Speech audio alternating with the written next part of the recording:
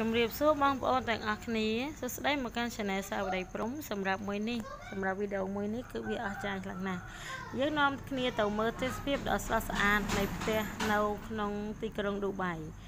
នៃសួនច្បារ Maricol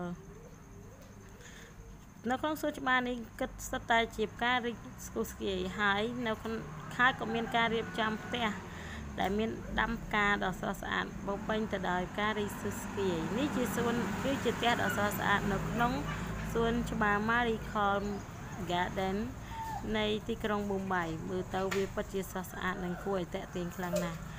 វាគួរឲ្យចង់ទៅលេងមែនតើ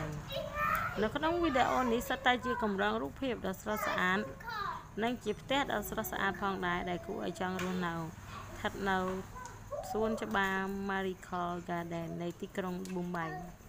វាពិតជាស្រស់ស្អាតហើយនឹងតាក់ទាញខ្លាំងណាស់វាគឺជាសួនច្បារជាប់លំដាប់ថ្នាក់ពិភពលោកដែលតាក់ទាញភ្ញៀវទេសចរដ៏ច្រើន